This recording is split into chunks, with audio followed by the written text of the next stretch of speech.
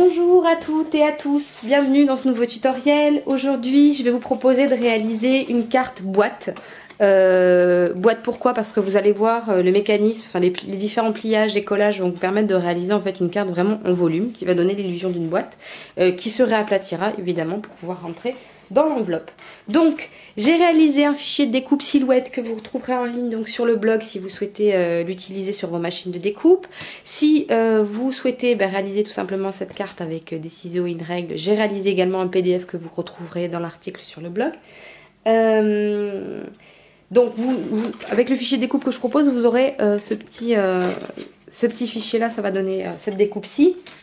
Donc, je vous propose de réaliser un petit schéma euh, comme les fois précédentes parce que bon pour l'instant j'ai pas trouvé de meilleure idée pour essayer d'être claire. Donc si vous avez des suggestions je prends hein, mais pour l'instant euh, je vais essayer de faire avec ça.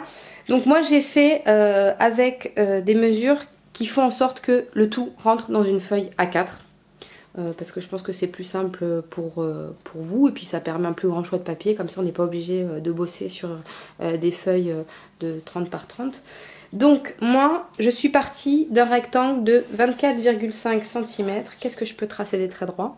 C'est magnifique. 24,5 cm par 20,3. Voilà. De mieux en mieux. bon, une fois que j'ai ce rectangle-là, l'idée c'est de venir à 5 cm marquer une première ligne de pliage de chaque côté, ici et ici. Donc j'ai mes lignes de pliage. Hop.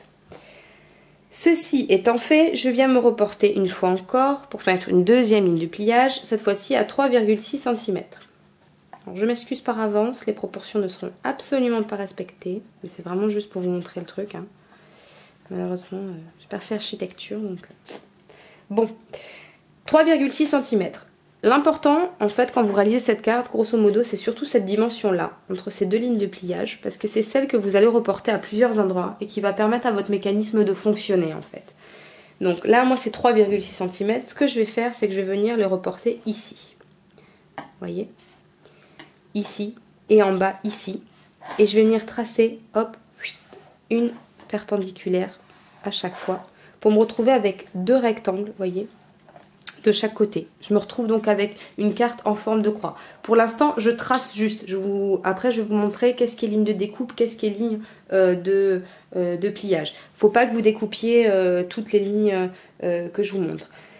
Ce qu'il va falloir faire, donc, c'est une fois que vous avez ce triangle-là, bah, je vais vous montrer tout de suite. Il faut que vous découpiez. Alors, je vais vous montrer. En vert, vous, pouvez découper toute cette ligne-là à chaque fois jusqu'au bout. Vous venez jusqu'à l'angle, tout ce qui est en vert. Est-ce que ça apparaît bien? Oui. vous venez découper tout ça. Ensuite, vous venez découper ici et ici. Vous faites la même chose de chaque côté. Parce que l'idée, ça va être d'évider ces zones-là. Voyez? Là, tout ça, ça doit, ça doit se désolidariser du reste. Vous n'en avez pas besoin pour votre carte. Par contre, vous devez effectuer une découpe bien sûr sur les extérieurs, mais bon ça c'est déjà fait. Vous devez ici faire une ligne de pliage, pas une ligne euh, de découpe. Je vous montre là, vous devez avoir, vous voyez, des petits carrés. Ce que vous voyez ici là, c'est ce que vous avez ici. Vous voyez? Donc il vous faut trois lignes de découpe et une ligne de pliage ici pour pouvoir avoir vos, petits carrés pour vous retrouver. Donc vous voyez avec un rectangle central et deux euh, carrés de chaque côté. Vous voyez, vous avez ces deux rectangles ici et ici. Rectangle parce que là encore, vous allez venir marquer une ligne de pliage qui part à chaque fois des extrémités. Hop, hop, hop, hop, ici. Et la même chose ici. Donc ligne de pliage en haut et en bas. Et ensuite, ce que vous faites, c'est que ce rectangle-là, vous venez mesurer son centre. Donc moi, il fait 7,2 cm, ce rectangle-là.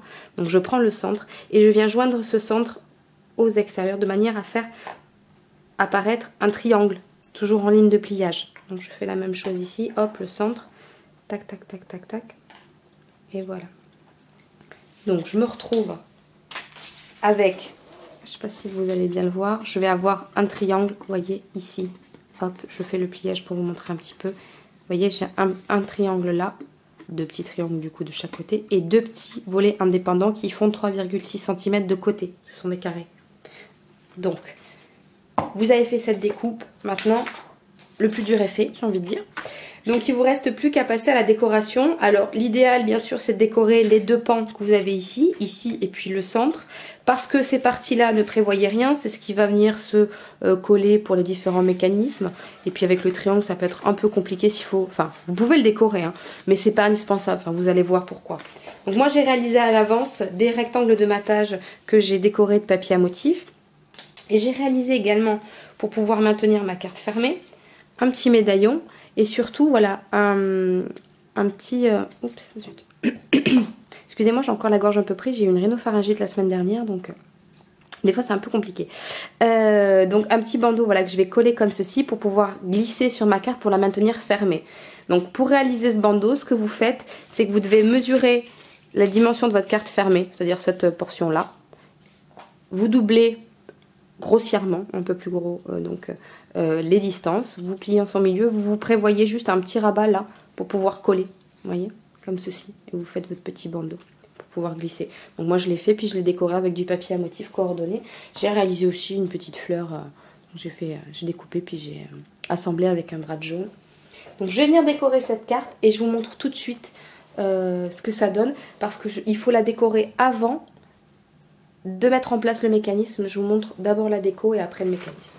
Voilà, donc j'ai collé les différents pans de papier à motif et donc maintenant il faut que je vienne marquer les différentes lignes de pliage pour réaliser mon mécanisme. Donc comme vous le voyez ici, j'ai marqué mes deux petits carrés, mais je suis venue marquer mon triangle de sorte à ce que la pointe vienne vers l'intérieur de la carte. Vous voyez, comme ceci.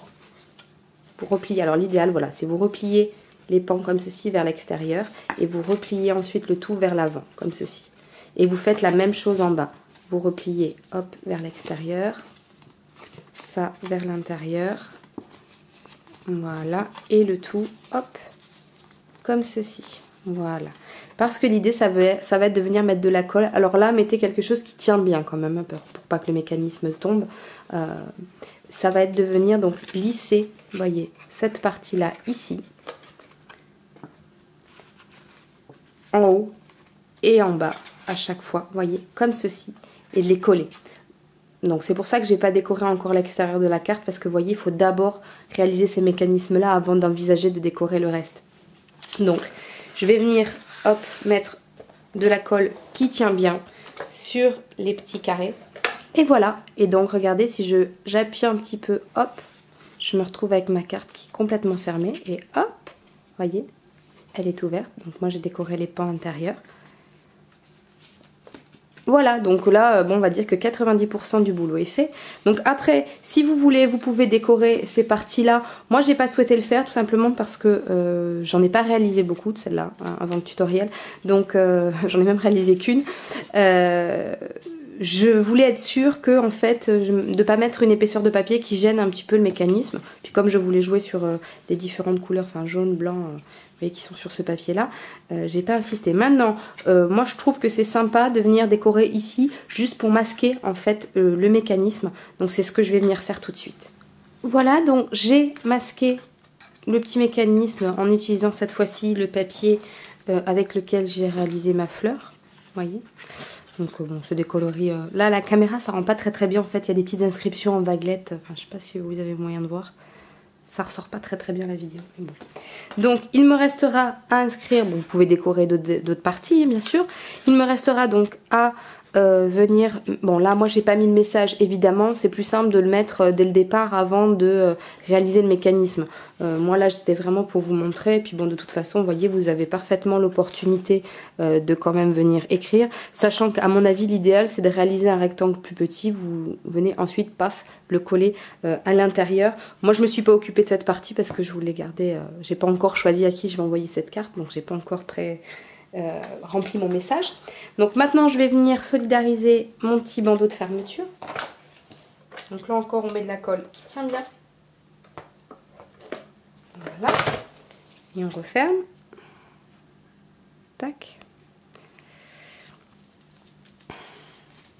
Voilà.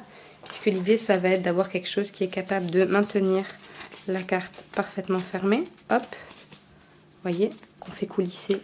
Tac. Donc voilà, là je vais venir le mettre comme ça. Je vais le laisser tel quel. Vous voyez, l'important c'est de bien mesurer avec les pans parce que regardez, de l'arrière, cette partie-ci est plus restreinte que euh, la carte dans son intégralité. Donc ne mesurez pas le rectangle central, mesurez bien euh, la dimension de la carte en tenant compte des deux panneaux du, devant. Donc maintenant je vais venir, hop, mettre mon petit, euh, mon petit message sur le devant. Et voilà, ma carte est maintenant terminée. Donc vous voyez, quand je veux l'ouvrir, j'ai qu'à faire glisser le petit bandeau et tac, elle s'ouvre.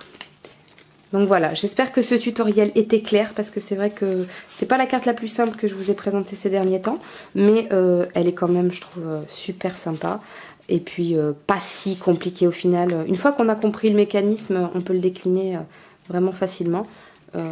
toujours pareil, en modifiant à son gré les différentes mesures. Voilà, j'espère que ça vous a plu. Je vous dis à très vite. Allez, bye bye.